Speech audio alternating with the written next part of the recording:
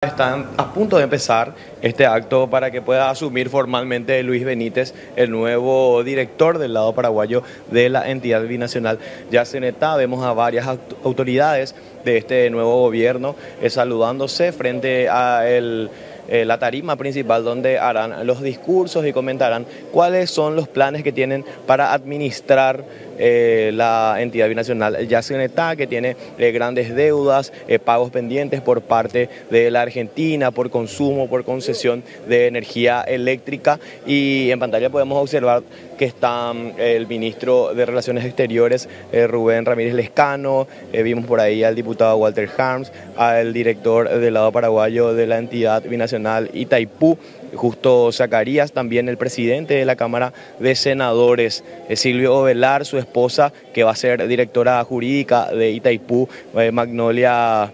Eh, la doctora Magnolia y también Lea, Lea Jiménez, también está lo puedo ver también el presidente de la Cámara de Diputados, Raúl Latorre, entre otros, saludándose, hablando, compartiendo este momento previo al acto central que tenía que haber iniciado a las 13.30 con el orador principal Luis, Benítez, el ex gobernador y actualmente el director de la entidad binacional. Estuvo como diputado, pero fue nombrado por el presidente Santiago Peña para ocupar este cargo que tiene un eh, rol estratégico para los ingresos de nuestro país, para el desarrollo de nuestro país y en algunos discursos ya anteriormente había mencionado que trataría de utilizar la binacional para el desarrollo de los departamentos que fueron afectados por la construcción de Yacinetá, ayudar a la inversión en educación, en salud y también arreglar un poco las cuentas. Pidió que en estos eh, días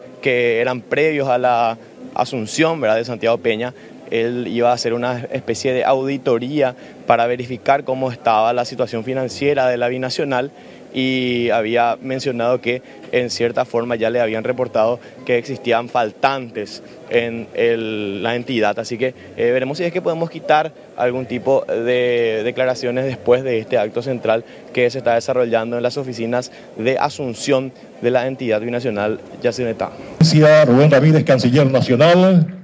Están dando inicio a este acto. Jennifer, acaba de llegar el presidente de la República, Santiago Peña. Escuchemos cómo se desarrolla el acto. Y señores, lectura del decreto del Poder Ejecutivo número 8 por el cual se designa al licenciado Luis Benítez Cuevas como director general de la entidad binacional Yacinetá Margen Derecha. Decreto número 8 por el cual se nombra el señor Luis Federico Benítez Cuevas como director de la entidad nacional de Asinetá en carácter interino. Asunción 15 de agosto del año 2023. Listo el Estatuto de la Entidad Nacional de Asinetá, anexo A del Tratado de Asinetá, y considerando que la Constitución Nacional, en su artículo 238, numeral 1, dispone, son deberes y atribuciones de quien ejerce la presidencia de la República representar el Estado y dirigir la administración general del país. Que el estatuto de la entidad binacional y accidental dispone que los directores serán nombrados por sus respectivos gobiernos.